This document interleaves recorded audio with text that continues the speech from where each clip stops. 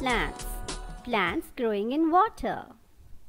Many plants grow in ponds, lakes, and other water bodies. Such plants found in water are called aquatic plants. Aquatic plants are of two main types. Some of such plants float on water, while others live underwater. Floating aquatic plants. These are again of two types. Free floating plants, fixed aquatic plants.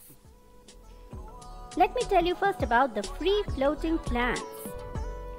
Water lettuce, water hyacinth and duckweed are found floating freely on water.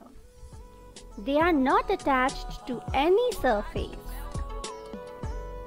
They have air-filled cavities in their leaves and stems. These cavities make them light and help them to easily float on water. Do you know?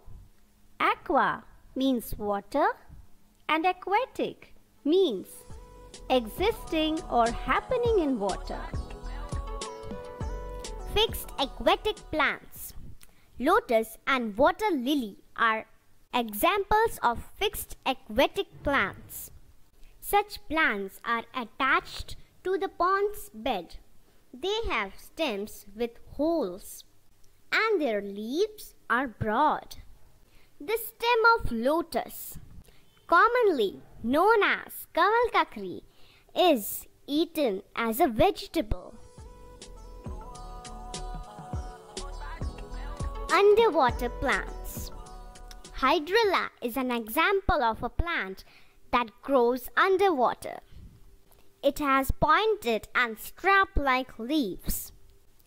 Do you know aquatic plants like hydrilla increases the oxygen content of water and removes carbon dioxide from it.